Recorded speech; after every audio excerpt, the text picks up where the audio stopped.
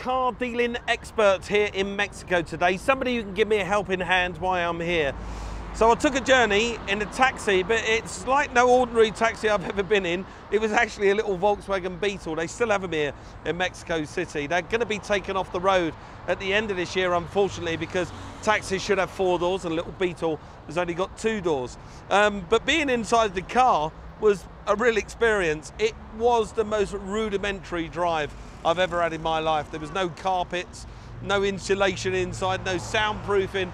It was bumpy, it was rutted, it was noisy, there was steam coming out of the dashboard. It was all kinds of things going on.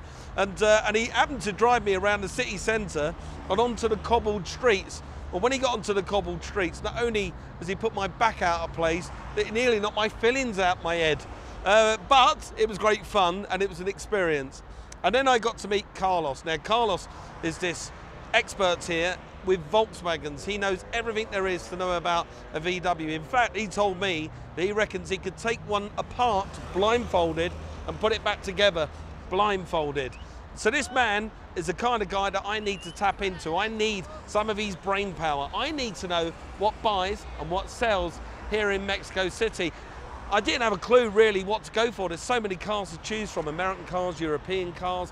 There are all kinds of cars here in Mexico. But he said, look, you know, people are so affectionate about the Beetle that maybe I should go for an original one. That's because they were made just an hour outside the city.